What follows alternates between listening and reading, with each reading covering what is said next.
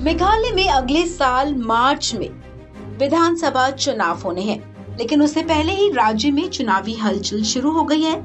चुनाव से पहले ही मेघालय में बीजेपी मज़बूत स्थिति में आ गई है। दरअसल, भारतीय जनता पार्टी ने मेघालय के चार विधायकों को अपनी पार्टी में शामिल करा लिया है, जिसमें से एक टीएमसी का विधायक भी शामिल है। चार विधायक जो बीजेपी में शामिल हुए हैं, उनमें से एक निर्दलीय, दो एनपीपी और एक टीएमसी का विधायक है। चारों ने दिल्ली में असम के मुख्यमंत्री हेमंत बिस्व शर्मा और संबित पात्रा की मौजूदगी में बीजेपी की सदस्यता ग्रहण की है। असम के मुख्यमंत्री हेमंत बिस्व शर्मा ने टीएमसी विधायक, हिमालय संप्लियायक, एनपीपी के विधायक बेंडिक्ट मराका और फेरलिन संगमा और निर्दलीय विधायक समुइल संगमा को बीजेपी की सदस्यता ग्रहण करवाई है। इस मौके पर बीजेपी प्रवक्ता संबित पात्रा और बीजेपी के राष्ट्रीय सचिव ऋतुराज भी मौजूद रहे। हमारे लिए आज का दिन बहुत ही इम्पोर्टेंट है। चार चार मौजूदा विधायक in Meghalaya assembly they have join BJP today and I think this is a very new beginning you have seen that all these MLAs are very, very experienced.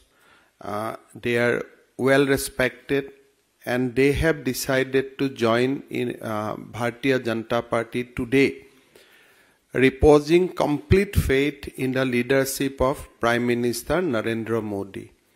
We all know that since 2014, Northeast has undergone a tremendous change uh, be in highway, be in railway, be in airway, be in e-way. Every sector today Northeast is progressing thanks to the visionary leadership of Prime Minister Narendra Modi.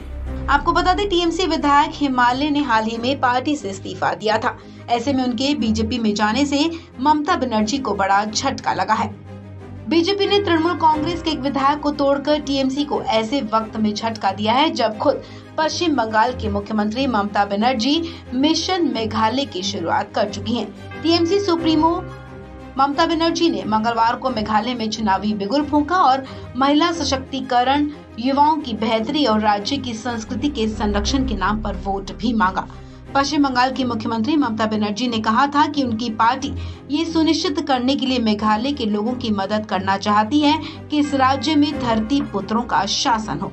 गौरतलब है कि मेघालय में अगले साल की शुरुआत में विधानसभा चुनाव होने हैं। मेघालय विधानसभा का कार्यकाल 15 मार्च 2023 को खत्म होने वाला है।